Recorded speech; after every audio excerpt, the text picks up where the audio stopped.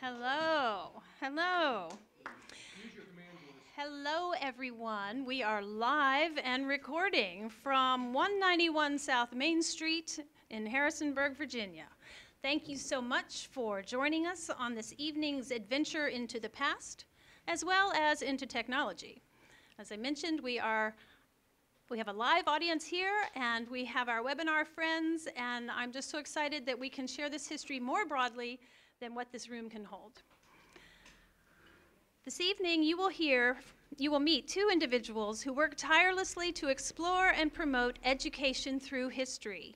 Their efforts enrich the lives of students in our area, and the entire Harrisonburg Rockingham community benefits. I certainly benefit from their expertise and enthusiasm and am grateful for their contributions to Rocktown History's mission. Bo Dickinson is the Social Studies Coordinator for Rockingham County Public Schools. He has been instrumental in developing statewide opportunities for local history curricula. Last year, Rockingham County fifth grade students spent the year studying our local history. Bo also shepherded Dale McAllister's biography of Lucy Frances Sims, and he has been a very supportive trustee for the Historical Society. In a moment, Bo will introduce you to our featured speaker, Carole Nash. Full disclosure, this is our hybrid event. Fortunately, our sponsors, Appeal Production, are in the room to handle the technical logistics. The recording will be added to the Rocktown History YouTube channel at some point. You will receive an email tomorrow with a reminder and my contact for any further questions or comments. We'd love to hear from you. Our audience here will be able to ask questions, which we'll ask Carole to repeat for our webinar guests. And we ask our webinar guests to please use the Q&A feature to ask your questions. I will be monitoring comments and questions, but they will remain anonymous to the general audience.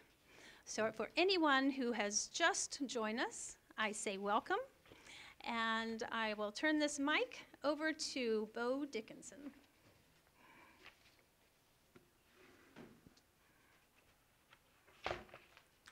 Thank you. All right, good evening, everyone. This is an exciting place to be. Uh, I think with that local history curriculum that we've had, we can add a chapter of it here.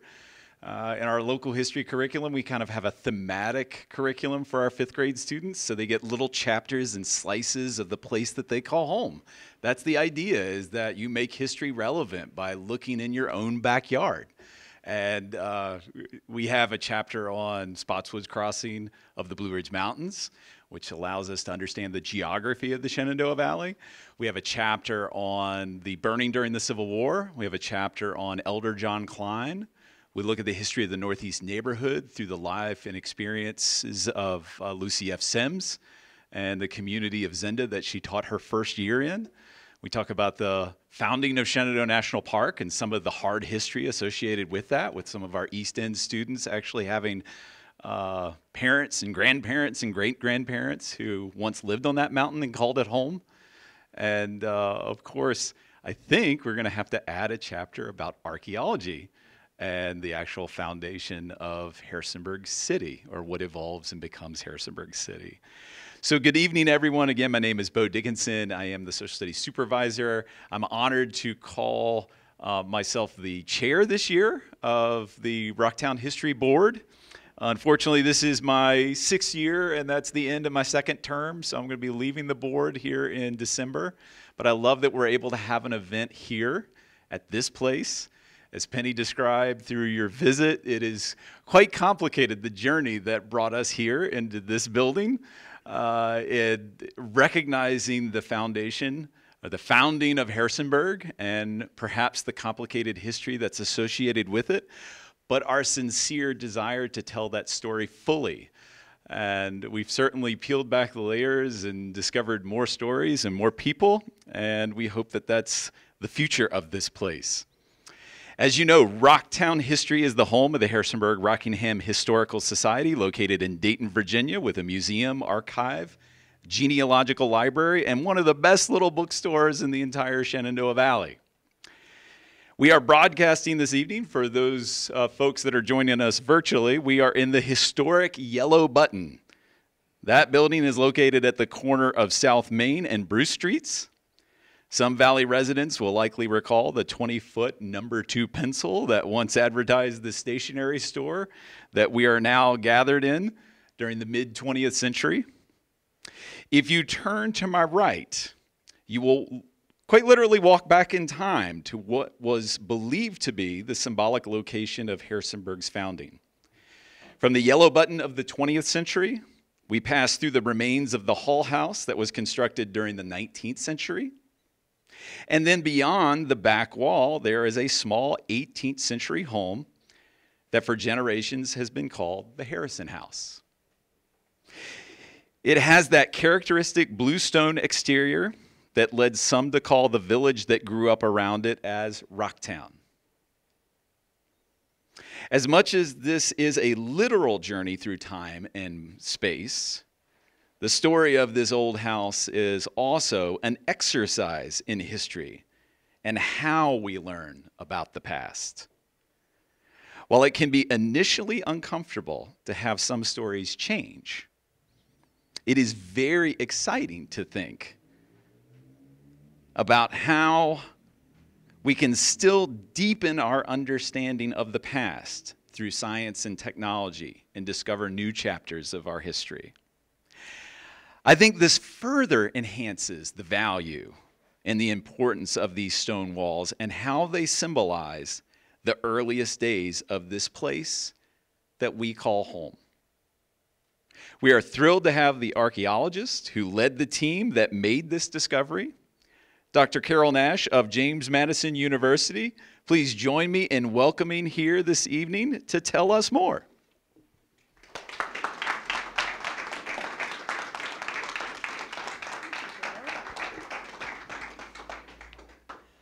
Evening, all. Um, I do want to say, first of all, that I am humbled this evening because I know there are many of you in this room who care deeply about. Okay, let's see.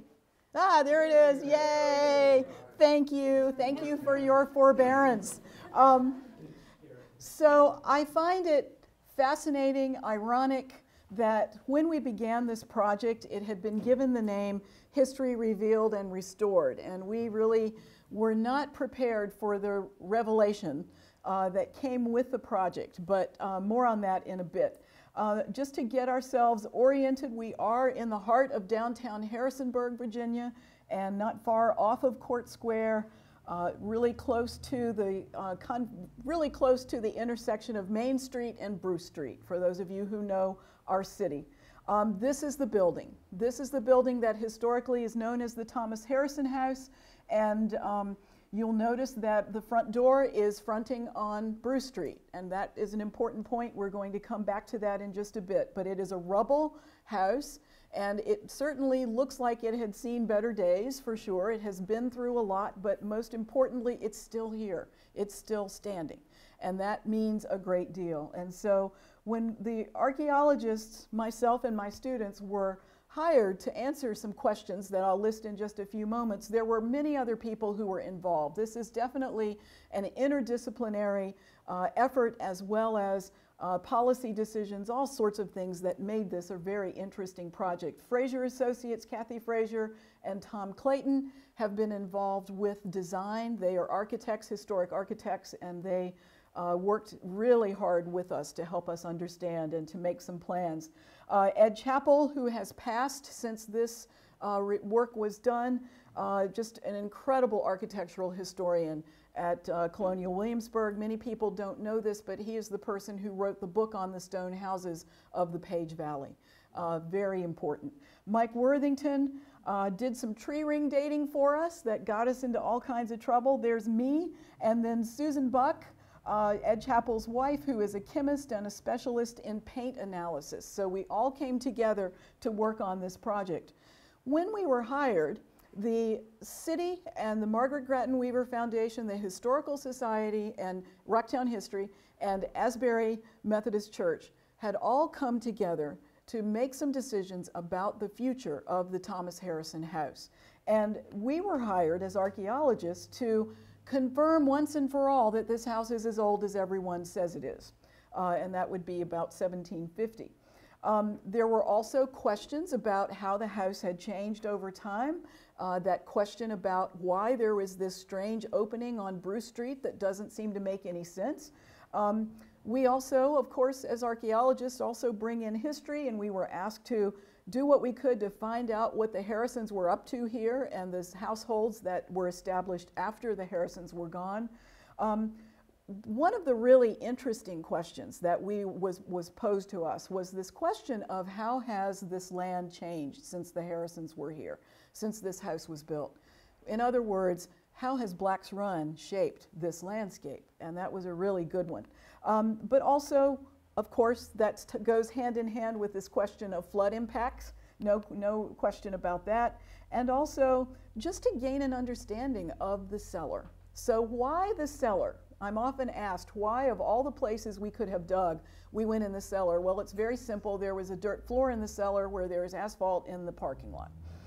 So I think that says it all, but being facetious, you learn a lot from cellars. But uh, of course, many of you came down this evening to actually tour the cellar. Um, we're adventurous enough to make it down these steps, but the cellar is interesting because of some of the features that are historically known about this. And First of all is this cooking hearth that for all intents and purposes has this uh, association with English architecture, uh, with English cellars. So that has always been of great interest to people, but also that German spring, the fact that the house was built over top of a spring and that the spring is still there, that you can still see these things today.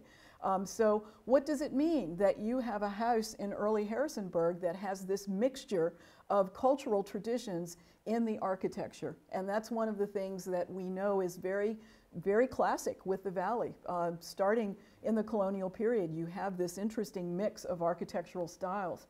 Um, but we had to do some background research to really get into this because there were questions about the Harrisons. And when you're doing archaeology, it's neat to look at the artifacts, it's cool to find things, but ultimately, we want to tell stories about people. That's what this is all about, is telling stories about people. So just doing some background research, the Harrison story actually starts in Long Island. And uh, the patriarch Isaiah, who is Thomas's father, uh, immigrated from far western England, almost on the border with Wales. He was a younger son of a family uh, probably didn't have much chance of owning land where he was from. His probably went to his older brother with primogeniture, but uh, he came to the United States or to North America at this point in time. He comes, shows up in New York, the colony of New York, um, and in 1688. And he's a blacksmith. He's a young man, but he's a blacksmith, but he comes with money.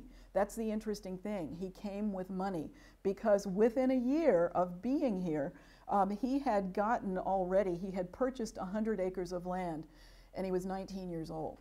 And he did not come as an indenture. So what that tells us is what that's what it means when it says he is a freehold. So the family shows up, he shows up there.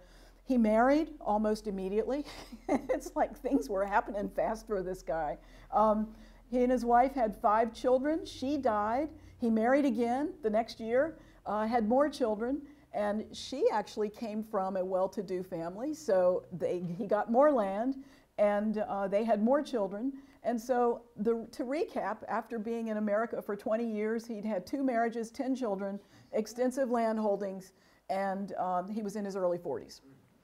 So, not too shabby as far as that goes. They moved to Delaware, where land was cheaper, where he could he sold his land in New York, made money, and that's the story of the Harrison family. It really is the story that stays with them um, throughout the generations. They definitely were buying land and they were selling land pretty regularly. But they sold their land in New York, moved to Lewes, uh, Delaware, and um, what I find really fascinating about this, they bought a 907 acre plantation near Lewes. um, but then he deeded a lot that land to the sons. And so basically what he did was he divided up the property and he gave each of his sons 250 acres and allowed them to sell that and then go do what they wanted to. And it's just that it's an interesting story of how they end up in the valley. We don't have time to tell it tonight, but they did end up here. Isaiah comes along, he's 70 years old, he's traveling with them They show up, they're identified, the sons, when they sold the land in Delaware, are identified as yeomen, meaning they were farmers basically. Um, they sold the land between 1737 1740 and uh, came down here. And I just recently have learned, for those of you who love maps, which I do, um, what I have circled there, of course, is the Harrisonburg area, but that really is Mole Hill. This is Thomas Jefferson's map. Yeah, this is the Jefferson Fry map and uh, Peter Jefferson's map, excuse me, uh, and that really is Mole Hill. But you can see that there's nobody settled there, and so there's the hill. Um, so what we know from the records is that by the early 1740s, uh, the, the, um, Harrison's sister and four brothers were in the Central Valley and they were patenting land with their families. So they were leveraging the land their father gave them to buy land down here. And um, I think recently, uh, I know the Historical Society and Dale McAllister has really been interested in this. Melrose Caverns, for those of you who love Melrose Caverns like I do, um, that was the seat of one of the Harrison sons. And so there are actually more archaeological sites on that property than any other uh, Harrison associated uh, property that we know of in the valley. But anyway, there they are. Um, so Thomas, we get to him. He was always identified as a farmer. Um, he married twice and had nine children. uh, by, and his uh, second wife was Sarah Cravens. And the sons who, you see the son and the daughter who are, are listed on the slide, they all moved to the valley. Every one of them came to the valley, um, and they all died here except for two who then left uh, and went to Kentucky and Illinois. So they intended to set up shop here. It's very clear. Uh, and of course, the time during which they did this was the French and Indian War. So this was a time period when people were leaving Western Virginia. They were going back across the Blue Ridge to the east. And what we um, don't often think about is the fact that that opened up a lot of land that previously had been under patent. People just abandoned their early patents. So it's, they were very clever about these sorts of things, the Harrisons. So Thomas, between 1744 and 1773, patented over 2,000 acres. And he didn't own all of the land within that triangle, but that's the extent of his holdings, essentially, um, all the way up to Linville, uh, down to um, uh, um, on Muddy Creek, on Linville Creek, on Cooks Creek. So those were, uh, those were his places. So the question is, where did he establish his homestead? Now, I have to say, as an archaeologist, I was pretty suspicious that this would have been the first house he built. This over here would have been the first house he built. Because usually, with early colonial settlers, they live in log cabins for quite a while before they will actually put the effort into building a stone house, which is quite a, an undertaking. So, was it in Harrisonburg? Did he build a stone house in the 1750s? That's what everyone believed to be the case. So this is where things get pretty interesting, though. The state of Virginia gets involved. Of course, 1778, Rockingham County splits uh, off, and it is recognized uh, um, as um, uh, splits off of Augusta. It's recognized, and then 1779, Thomas Harrison sets aside two and a half acres of land close to the courthouse, around the courthouse, and um, that, well, what we now recognize as Court Square, essentially. And within just a few years, he and his sons, actually within two next year, he and his sons added another 50 acres. And they went to the state, they went to the state of Virginia and said, we need a county seat. We've got a new county, we want the county seat to be here in Harrisonburg. But this is where I learned something I was not aware of until recently. Um, I looked at the actual, the act of the assembly that established this, the town of Harrisonburg. And um, the thing that always confused me about Harrisonburg is that there were no trustees. If you look at the early history of towns in the Shenandoah Valley, they all had trustees. There's no trustee for Harrisonburg, and it was because Thomas Harrison had already set aside the land. They were not going to have to wrangle over where things were going to be built. The land had already been set aside. Thomas Jefferson was the governor of the state of Virginia at this time. Um, but here's what the, here's what the um, Act of the Assembly says. Um, it would be a great advantage to the inhabitants of the county if established a town for the reception of traders. T R A D E R S. And so be it therefore enacted that the said 50 acres of land so laid off shall be The same hereby established a town by the name of Harrisonburg, the freeholders and inhabitants of the said town, as soon as they have built upon and saved their lots, according to the deeds of their conveyance, shall then be entitled to the name of the county seat. So there's a caveat. It's not just let's set up the town. Let's go ahead and give you the, um, we're going to establish Harrisonburg as the county seat. It was, we'll establish Harrisonburg as the county seat, but you got to build. You've got, and of course, the, the state of Virginia wanted taxes. you know, that's what they, they wanted taxes, they wanted protection. This is from the um, archives at Rocktown History, and I have to say, between those archives and between the courthouse, uh, the clerk of court here, Chaz Haywood, who is here and has done so much to preserve records, the, the way that we can do historical research now is so different and is just amazing. But here is a um, drawing that was in the archives there that sort of shows what those lots would have looked like. And uh, you'll notice I have highlighted number seven because that is where the stone house is located. Um, there's definitely a Methodist connection here. There's, that's part of the story. Thomas was an Anglican. He is recognized in the court records of Augusta County as a tax collector for the parish. Um, but his sons, some of his sons and daughter, uh, embraced Methodism. And um, those of you who were downstairs with me heard me tell you the story that with Methodism came the requirement of emancipation of enslaved people. And uh, we've been able to look through some of the wills, and we'll tell more about that story in just a moment. But I do want to give a shout out to Nancy Hodges and that new book on the history of Asbury United Methodist Church, uh, because she's done a tremendous, uh, made a tremendous contribution in telling us that history. Uh, but of course, there is the story of Francis Asbury. There is the bronze plaque that is on the, uh, the stone house. And um, the, the possibility that church may have been held in the stone house, one of the first uh, services for the Methodist Church. I believe that is true, but for a different reason other than Thomas Harrison was living there. Um, so 1785, Thomas Harrison died. His property was willed to two sons. One of those sons died in 1790, and we know that Reuben, by this time, Reuben was getting into the business of selling these lots big time.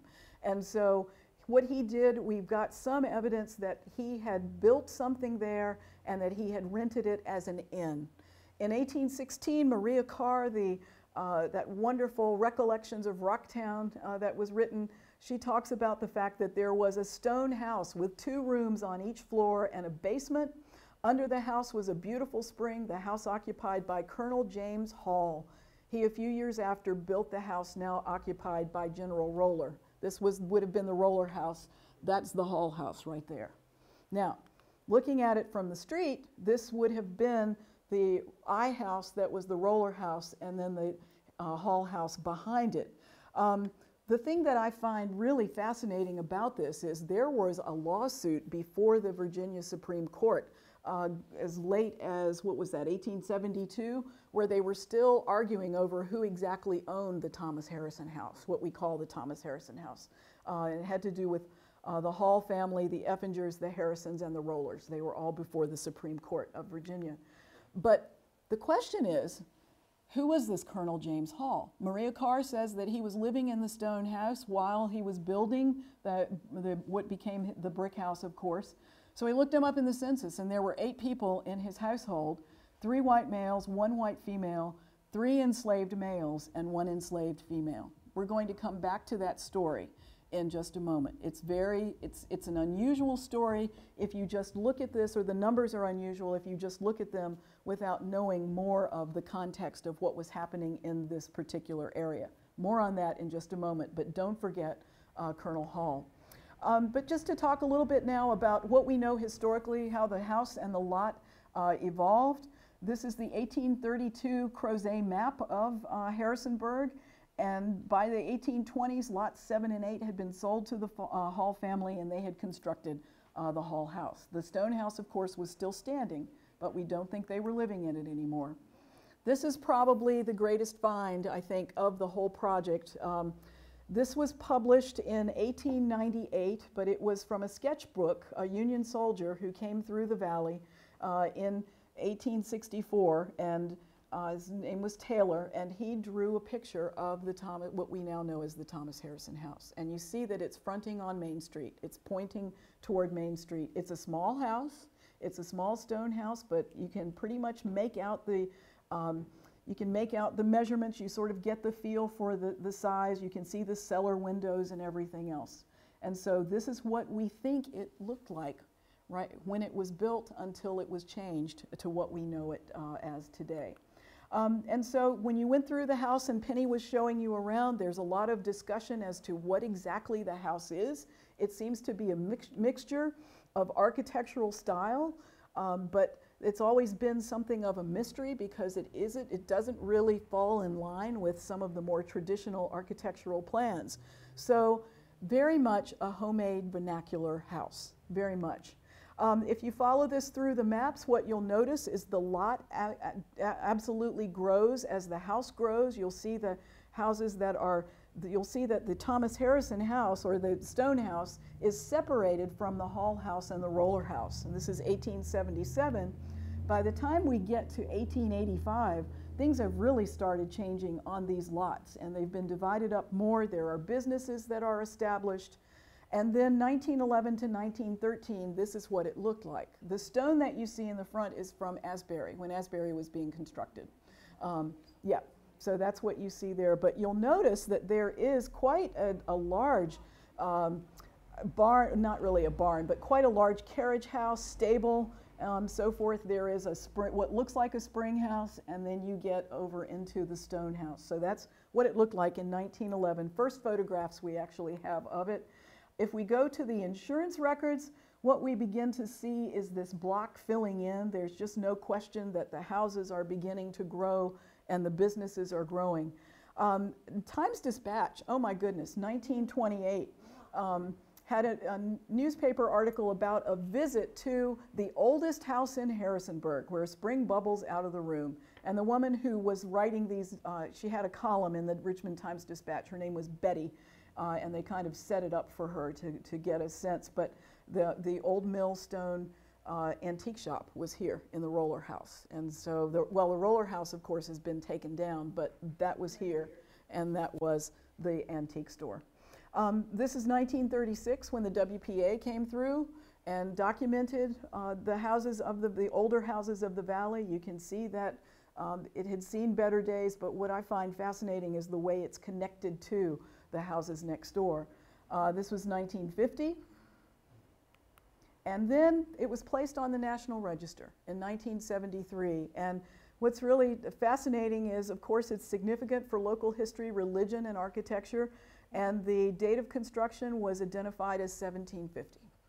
So once you get that on a National Register nomination, it's hard to convince people otherwise. So here's where the archaeology comes in. Um, you know, so it has been sanctified as 1750. We start excavating and we are expecting that we're going to find artifacts that go back to that time period.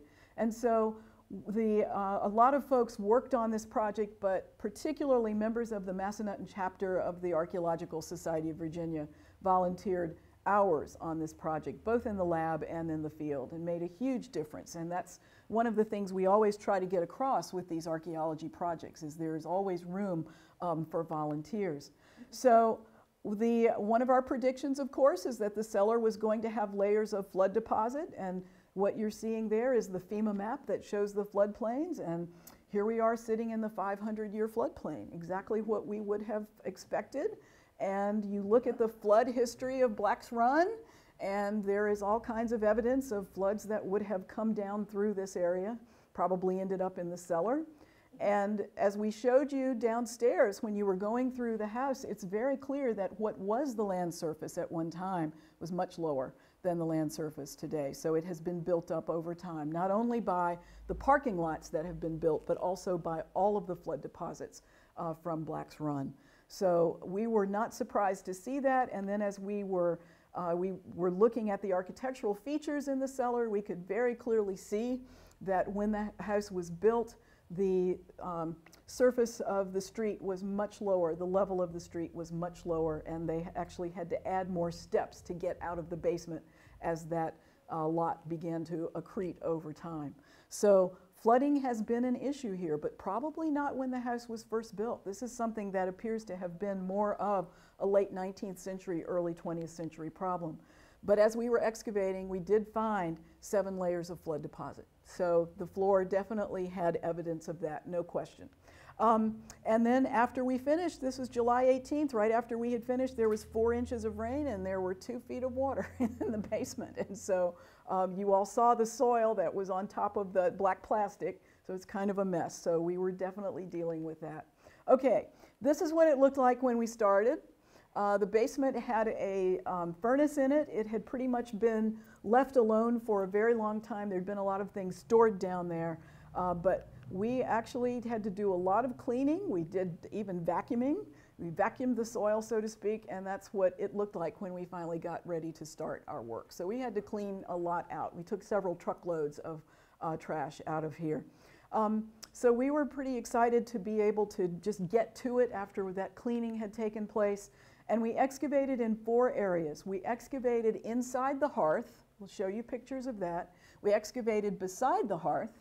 We excavated where, uh, in an area where we thought there would have been a wall separating the cooking area from the spring.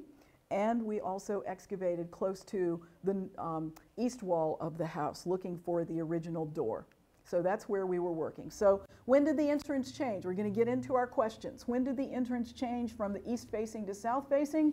We think we've got some evidence of this. We excavated right below this, what looks like a cut in the stone that doesn't look natural. And what we found was a demolition level and artifacts that date to about 1890 or so, 1900, which would tell us that there had been a major change in that wall at that time period. And here is just a drawing of that that sort of gives you the sense of what we were talking about there, all of that rubble that was just thrown in and the artifacts very, very late uh, right there. If you look at the um, insurance maps, there's something really interesting that starts to happen. So in 1886, the first insurance maps of uh, Harrisonburg, the Hall House and the Thomas Harrison House are not connected. But you get into 1891 and they are connected. And that's when the door changed. That's when they connected the two houses finally. That's when the door shifted from facing this way to facing that way. And so by the time you get to 1897 and from then on, the houses are shown as connected. So we were able to answer the question of when that shift occurred. Um, somewhere between 1886 and 1890, uh, well, anyway, 1891 is when that change occurred. So there was that. Was there a divider between the hearth and the spring? Indeed, there was. We actually found evidence of the old uh, wall in the joists above, and then as we were excavating, we were able to find, whoops, let me go back for just a second. We were able to see that there was very clearly uh, the shadow of a wall in the floor. So that basement was actually divided up into work areas, the cellar was. Um, the spring we did not do much to because we were very afraid of its condition. We didn't want to um, disturb it any further. It definitely needs work, but as we were doing our excavations, we found that it has filled in with sediment and that there were actually five steps that went down into the spring at one time. So it was much deeper, uh, and again, pretty remarkable to see that here. So in the future, perhaps there will be work done on the spring. We hope so. Um, again, what we showed you downstairs, the early, if not original cellar door with the hand wrought straps and with the heart finishes. Beautiful, beautiful piece uh, with very large boards. So we're happy that that is, has been preserved. And those are, yeah, those are, there they are. Yep. Nice work. Beautiful hand wrought work. So what about the hearth? We love to excavate into hearths because they not only have all kinds of really cool stuff in terms of cooking implements, you will find all kinds of broken plates and crocks and spoons and forks that are diagnostic that will help you date the layers you're excavating in. But you also find evidence of what people were eating when you dig into a hearth. And so the stones that you see piled up are ones that we removed as we were excavating into the hearth through layers of ash. And as we started working there, we began to realize that this was really quite an extensive feature. It was quite large, and we did find that there was some depth to it. there were some really interesting artifacts, but by and large, we weren't exactly seeing what we thought we were going to see. We were not finding a lot of ceramics or a lot of animal bone. What we were learning was that, as we learned all throughout this project, the basement was built on uh, boulders of limestone, as so much is done around here in Harrisonburg. You know, you can't dig too far down the, uh, into the basement floor and you're on bedrock. And so we found that the hearth had actually been constructed on top of a huge boulder, uh, which didn't really surprise us, but there it was. So the question was, where's all the food? Where's, where are all the artifacts and the food? So we excavated to the side of the hearth, and this is where we found many, many artifacts. We found what is called a feature. It was a pit that had been filled in with darker soil and it was in this feature, what we, we named it Feature 17-1, 2017. It was our first feature uh, that we found. Uh, it was a pit, and as you get, can see in this photograph, 56% of the ceramics from our work came from this trench that we excavated right next to the chimney itself. And so this is the place where the dumping had occurred. We found ceramics, we found bone, we found glass, you name it, it was there. Uh, this is what really helped us date these layers and help us answer some of the questions that we were asking about when the house was built. And this is just a, a plan map that shows you the size of the feature relative to the unit that we were working in and all the stones that were there. But it just gives you a sense. You can imagine a pit that had been dug and filled in with trash, and that's exactly what that was. Um, these are the artifacts that we were finding in that trench and in that pit. The earliest diagnostic artifacts, meaning ones that we can identify from a very specific time period, were manufactured between 1790 and 1810. We saw nothing that took us back to 1750. Nothing that took us back to 1740, 1750. Uh, you can see the ceramic types that are shown in this image and when you actually average the dates of their manufacture, which are pretty well documented, we came up with about 1810. And that 1810 is not 1750 by any stretch of the imagination. Um, and so we had over three, we had almost 400 ceramic artifacts from that unit. And uh, what we were able to see is that there was good stratigraphy. We were happy that, there, that that was there, but only 1% of these artifacts were dating after 1870, and 94% of them were between 1790 and 1840. And that did not really jibe well with the story of this house being built in 1850. So, what are we going to do with that information? Um, we noted that there were few matches in the tablewares, that there were lots of pieces that were from a plate over here, a different kind of plate here, a different bowl here.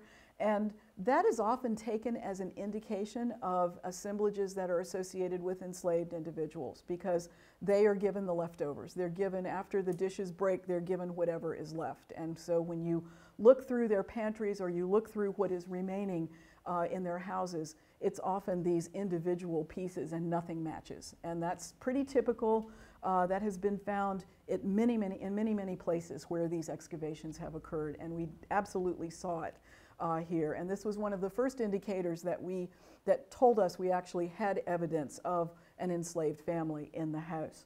So the earliest you can see, again, these are very utilitarian, a lot of utilitarian wares that we excavated, kind of the heavy duty cooking uh, pots and things that you would expect to see. Um, in terms of the glass, the glass was much later, uh, early to mid 19th century, but a lot of clear glass that was 19th and 20th century. The nails that we found post 1800, again, nothing pointing us to 1750. Um, and then you have these small finds, these buttons that are made out of bone. You have glass buttons, but we have pins and a lot of notions from sewing, a lot of repair work being done on clothing in that basement. Whatever, whatever is going on down there, somebody is doing a lot. It's, there's a seamstress uh, down there working in that basement. Um, we did find a copper or brass strainer that was in the pit that we were telling you about next to the, um, next to the um, chimney and where the hearth was located, and this would be a pretty typical thing that you would see uh, associated with cooking. Um, but we also found a huge quantity of animal bone, and these are animal bones that were just basically bashed. Um, these are not fine cuts of meat. They're, we're talking sides of beef that were processed in that basement. Um, and a lot of pig, a lot of cow, deer. There were some fish scales, interestingly enough, a good bit of chicken and turkey. But the um, archaeologist who analyzed the bone, Dr. Elizabeth Moore, who is now our state archaeologist, looked at this assemblage and she said, This is not an assemblage from a household. This doesn't make sense. There's a lot more bone showing up here than one would expect if they were cooking only for a household. There was some major cooking going on, some major processing going on in that basement. And so that was sort of taking us, where, you know, you can see where things were not quite fitting together with the artifacts. So Susan, Susan Buck, who is a chemist and a conservator, was brought in. She, Frazier and Associates, uh, got her to come to Harrisonburg, and she was able to sample paints uh, within in the house itself. Not a, none of the lime wash, of course, down in the basement, but uh, she sampled areas on the exterior and well, no, actually, she did get some of the lime wash in the cellar, uh, but she did a lot of sampling in the interior. And one of the things that was really interesting about her work was the chemistry of the paints It's very, apparently very, very distinctive to particular time periods when pigments were available. And so what she found is that the window was originally painted red brown. So if you can imagine the house as uh, having these red brown, red ochre, red lead, uh, lead windows, but, but that wouldn't have been available. That would have been available mid 18th century. But then the stone walls had been painted deep yellow. The house had been painted deep yellow outside at one time with red windowsills. Okay? Um, and then there was a dull pink. They were hitting all the high points, okay? Um, but again, look at the dates. They just don't match up.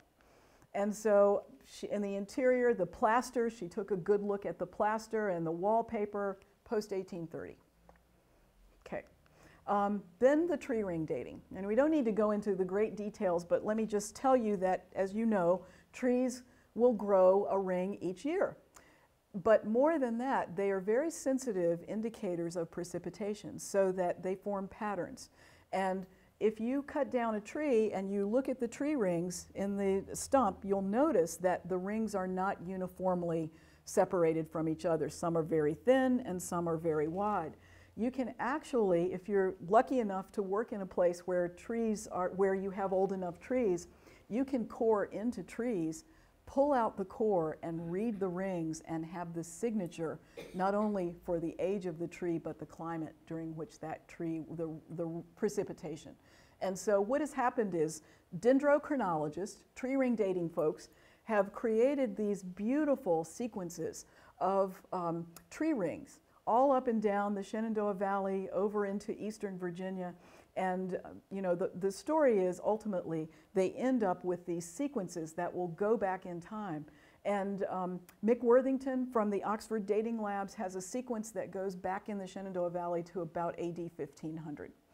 And so what he did, he shows up and he is looking for the, uh, the pieces of wood in the house, the joists, for example, or the rafters, that still have their sapwood on them, that will still have go all the way to the interior, to the core of the tree, so that he can really tell how old that tree is by matching the fingerprint of that particular tree with against his master list that he has created.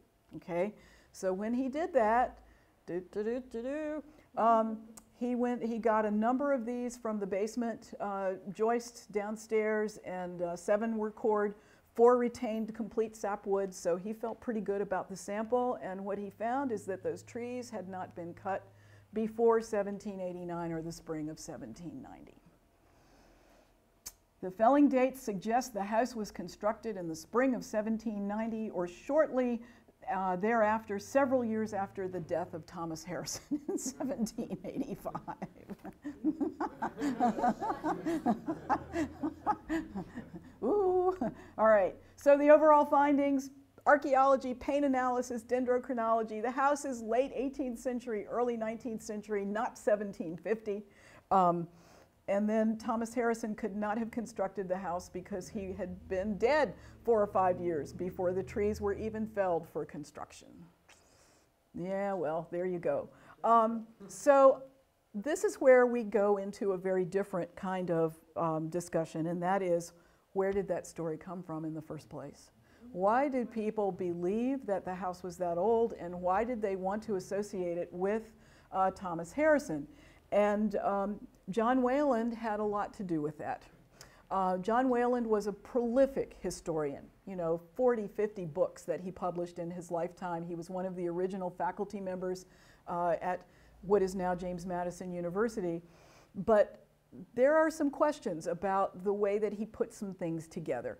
And this is one of those instances where he was writing history at a time when there was this push to valorize the past, to create this history of Western Virginia in particular, so that there were heroes, so that there was this heroic tale of how the valley had been settled. And of course, it was very much a white story, it was a story of men uh, and so forth. But he got excited because in um, 19, um, I think this is 1903, there had been published an account of um, Moravian missionaries who had come through Harrisonburg, who'd come through the valley, and they wrote that they had gone ahead on the road. They stopped at Tom Harris's plantation. Here we bought feed for our horses. We pitched a short a tent, short, and the people were very welcoming. Uh, they, people, you know, strangers could stay there. Well, that kind of set things off. Um, again, in the archives of the Historical Society, John Wayland wrote to John Roller, who at that time, of course, owned the stone house. And Wayland wanted to know tell me about the house. When was the house built? And so uh, General Roller at that time was saying, it's always been known since I was a kid that it was built, you know, this, it's the oldest home here in Harrisonburg, but I never traced the title back. He said, I never traced the title back. Well, John Wayland ran with that. and he decided, I guess, that it wasn't something that um, he needed to check out any further. And uh, in his books from that point on, they all talk about Thomas Harrison House being built in 1750. Okay, and of course the house associated. So where was he living? If you all walk along the North End Greenway, you're on Thomas Harrison's homestead land. Thomas Harrison was not here, he was up there. Um, so if you actually take a good look at um, the tracts and the parcels of land that he owned, he was not living here in down, what is now downtown Harrisonburg. He was living north of town. He was living out toward what is now Eastern Mennonite University. Um, he was on the creek, but you can see that uh, there is the reference to the middle road, which of course is Kratzer Road, comes in off of 42, picks up with Route 11, ultimately Liberty Street picks up and goes on. Um, and the Harrison family actually had written about this. The Harrison family was very keen on making it known that it's very likely the homestead was somewhere else, but they were not listened to. Um, but it's known as the Harmon pasture. So if you go up past the co-op, there's the um, fuel, the Southern States co-op that's up there off of Liberty Street. Um, there is a field that now the cattle are gone. We were chased by a big bull at one time, uh, but Black's Run runs through there. It's one of the places in Harrisonburg where you can still see lovely Black's Run. There it is. And there are archaeological remains that are absolutely old. There is no question about it. There is a house up there. Now, is that enough? No, that's not enough. Um, we have to take a look at other things. So, for example, the will, remember what the um, Moravians said. They talked about Tom Harris's plantation, 1807. Reuben Harrison, I give and bequeath the same manner as the above old plantation. And we know that that was the tract he was talking about. We have traced it, we know that was the tract that he was talking about. The Moravians called it the old plantation, Reuben called it the old plantation. This is Reuben's house. It was not the old plantation. Reuben's house on the corner of Liberty and Elizabeth Streets, uh, and as we say, not the old plantation. So pretty interesting to be able to put that together. So this is where we come back to James Hall. This is where we come back to the larger question of what this house means and how it is tied into uh, the story here. The stone house, I believe, is tied to transportation history, and I'll tell you why I think that is true. Uh, Maria Carr talks about the fact that she says, I'll begin at the first building on the south end of the west side of Main Street, or it was known then the Staunton Road. And she's talking about that lot right over there where the church is today. Um, there was a large stable or barn belonging to Mr. Bockett, who ran a line of stages from Winchester to Staunton, first weekly, twice a week, then three times a week. Um, and according to Waddell, the history of Augusta County, it took three days to get from Winchester to Staunton in the stage, and there had to be accommodations for overnight. And so there were accommodations in Woodstock and there were accommodations in Harrisonburg. And Mr. Bockett was right there, okay? Um, so I believe that the Stone House, formerly known, the house formerly known as the Thomas Harrison House, was an inn, and I think that the lot housed stables until the Hall family moved in, but they only lived there a short time and it may have gone back to being an inn. The incredible amount of animal bone, the meat that was being processed is a direct indication of cooking for large numbers of people who are not members of the same household, so to speak. And so if you can imagine a whole series of buildings like that. Now, we can put that into even greater context and we bring back in the story of the enslaved people who were living in this household because at this time, not only do you have the Valley Pike and the stagecoach going through, but you also have the Warm Springs Turnpike coming in, and it ends in the front yard of the Hardesty Higgins house. Okay, and so if you imagine big stables and barn there, inn over here, stables over here, and then stables in the front yard of the Hardesty Higgins house owned by Jeremiah Kyle. Kyle was a businessman in Harrisonburg. He was very well positioned in society. He was also an enslaver. And one of the things that we learned when we were doing the archaeology at the Hardesty Higgins house is that there actually were older structures on that property before the brick house was built. There were log cabins, and in the doorway going into this cabin, we found these objects.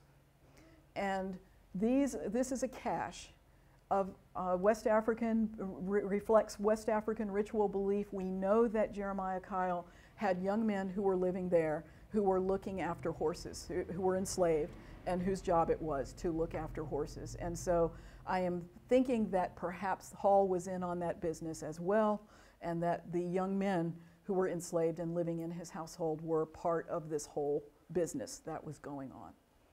Okay, so again, transportation history, but the cowrie shell, the white hand, the porcelain doll hand, the two crystals, these are objects that are often found together. This is the only grouping like this that has been found west of the Blue Ridge, but these are commonly found at places like Mount Vernon, Monticello, Montpelier uh, associated with slave housing or the housing of enslaved people. And it was right over there, right across the street, is where we found this. So the next thing that we've got to do is look at the history of these families some more, but we've got to really try to hone in. We really want to learn more about the African Americans who were living in these houses, and not just this, not just the stone house, but all around this area. Um, we do have ground penetrating radar now, and so instead of trying to chunk our way through asphalt out back, we're hoping that that will help us see something that might be there. Uh, and we're going to hopefully at some point do some more archaeology because we have more questions than answers. Now, the last thing I want to mention is this whole question of what do you do with a story that has been taken apart. Um, what do, does it make a difference that that house was not built by Thomas Harrison? And to whom does it make a difference?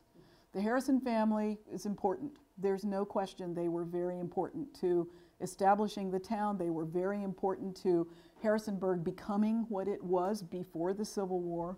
Um, but I think it's very, it, it's important for us to remember that the story that has been associated with this house is actually a more recent story. It's a story that is a little over 100 years old. It doesn't go back to the beginning of that house. And so, why was it important to have a place that you could point to that said, this is where the founder of Harrisonburg lived? It's an anchor.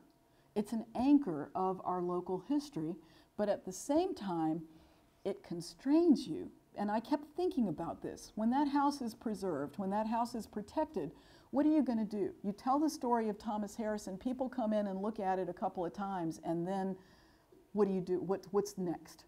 What's next? Well, now we know what's next. Now we know that there are all of these questions that are tied to the early history of Harrisonburg that are tied to bigger regional questions that we have not been able to ask because we were so constrained by that thought that that house was built by Thomas Harrison. And now that we can say it was not built by him, it just opens a lot of doors. And I think it's pretty exciting. I'm really uh, energized by it. Um, and again, uh, not to take anything away from Thomas Harrison, we've got to go dig up his house now. That's the next thing. But um, I just feel very strongly that this has presented us with a very important opportunity. And I thank you all for being here tonight to hear the story.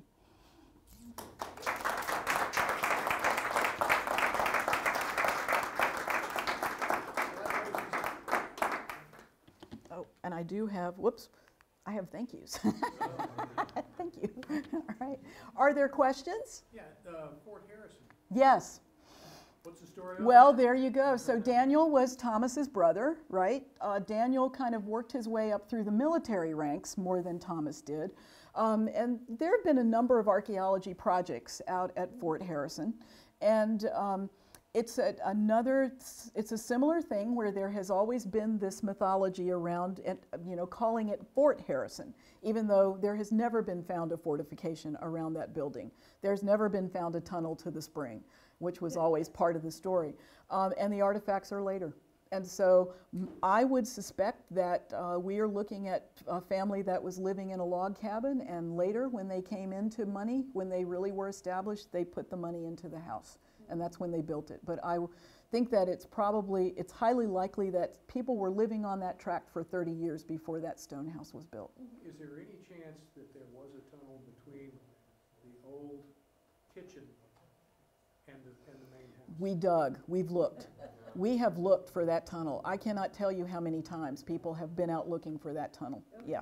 You've got the radar now, though. That's right. We've got the ground penetrating radar. Um, no, that we, we just got that. Um, but the, again, the, another really interesting study. You know, it's it's to me it's much more interesting to embrace the complexity of these stories as opposed to just saying, well, there's Fort Harrison. Um, yeah, there's a lot more going on. There's a lot more going on. Yeah. Yes. Did they, in the basement, Yes. when they built that wall, Yes. was it to keep the springs cleaner away from the slaughtering and the cooking? Could have been, um, and there's no question that was, uh, sorry? Can you repeat it a little? Oh, yes, the question was, with the spring, was there, a was the wall built between the hearth and the spring in order to keep the water clean and away from all of the work that was be, probably the ash, yeah, and the blood and everything else? Pretty, chances are pretty good because remember they were getting their drinking water out of that spring directly. So, um, but just the idea that you would separate out areas, you would separate out work areas, is, is a very common thing as well. But yeah, no doubt they needed to protect that water source for sure. Yeah, good question.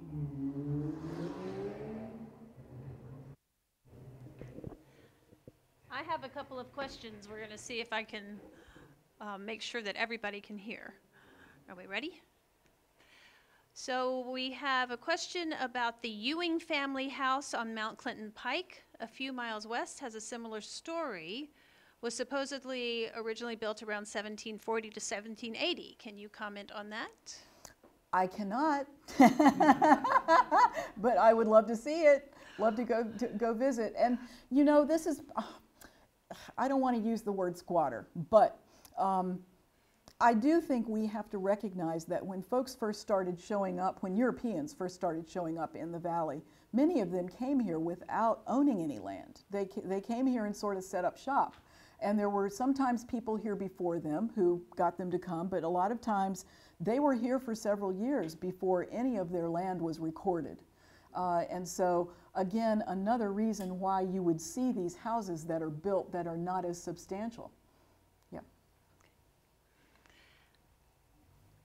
So uh, another person asks if the stone house is still the oldest structure still standing in Harrisonburg. We don't know. This is a good question. This is a great question. And I say we don't know because we don't know what kinds of log houses are still hiding underneath some of these houses that are still standing.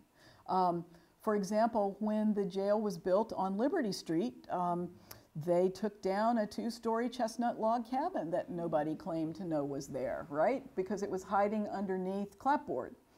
Um, and so it would not surprise me if there were actually some older, uh, parts of older houses here. Yeah. That would be an interesting thing to try to understand, but nobody has really had the opportunity to look. And there's another question wondering if the owners of the Harmon pasture are willing to allow exploration on the property. So, Well, as long as the bull is out of the field, I would be glad to work. Yeah. No, he chased my students and I into Black's Run. I've never, I've never had a bull paw at the ground and snort at me before, and I've been in the field for many years. But uh, no, it would. I think that would be a wonderful thing to do. And um, we, we've wandered through the area, and there, there's no question that there are some old sites there. Yeah. we also have a question about evidence of Native Americans, and I'm not sure if they're talking about In the cellar? which lot. I yeah, don't know. well, I will tell you that we do have a few stone flakes from, from uh, sharpening stone tools that in our excavation, and there are people who have reported finding stone tools, finding spear points in that basement before next to the spring. We have not seen those, but um, that does not would not surprise me in the least because springs like that are were always drawing, uh, always drew native people in, and you would expect to see artifacts there. But we did find a few flakes of chert that had been knapped, that had been broken purposefully for sharpening stone tools.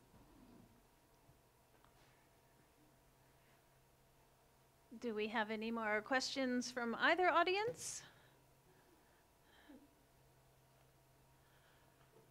I guess it's just general question there, aside from, you know, just, uh, kind of, discovering the, the bombshell, aside from just kind of discovering the bombshell that, uh, you know, this was not in fact Thomas Harrison's, uh, house, um, were there any other major discoveries or something that just really shocked you or surprised the team, um, kind of peeling back the layers? I think what shocked us was how quickly the two feet of water rose after four inches of rain, um, after we had finished excavating. That was really a shocker. Um, I think that um, one of the things that surprised us didn't happen during the excavation, but it was after when we were processing the artifacts.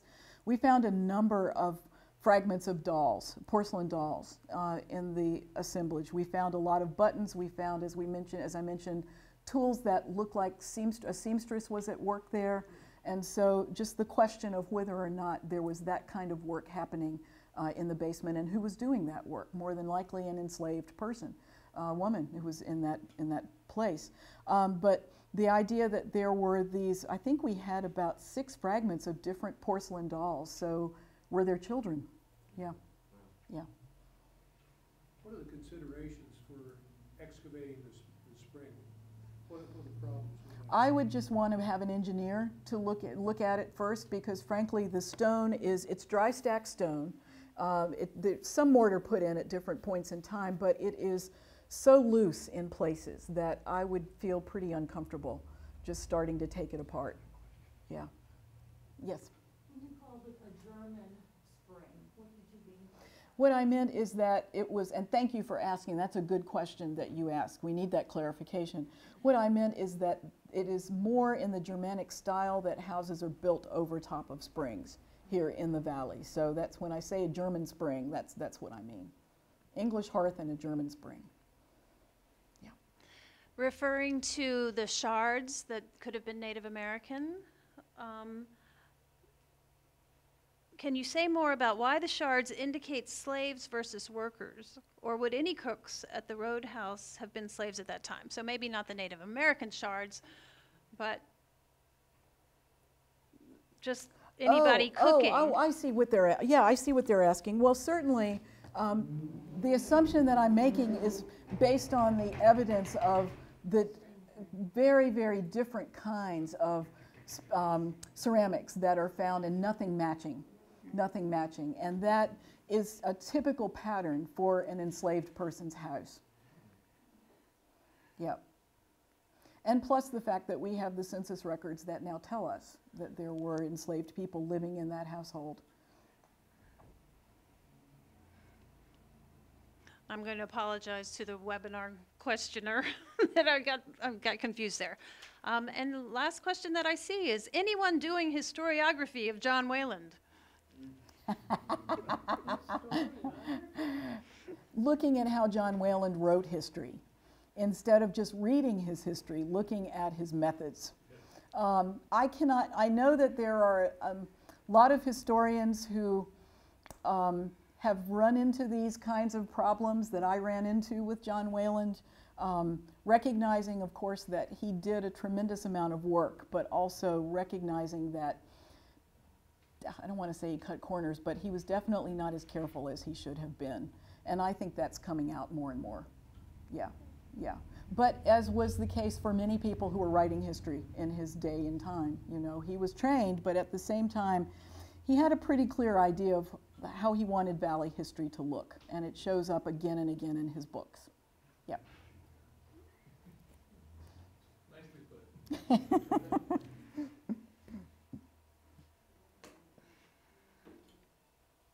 Well, I guess that's the end of our questions, and I just want to say thank you so much, Carole. Thank you for everyone joining in. Let's give Carole a big round of applause.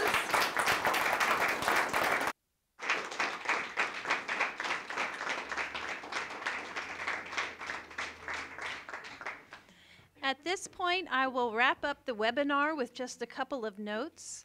Um, if you appreciated the program, I invite you to like, follow, share the Rocktown History Facebook and Instagram accounts, and certainly sign up for our emails so that you will have the newest news. If you visit the rocktownhistory.org website, you can sign up there for the email list, but you can also keep an eye out for our um, upcoming calendar under the News and Events tab. And certainly, donations are always appreciated, so we can have more of these wonderful programs. If you're interested in volunteering, get in touch with us.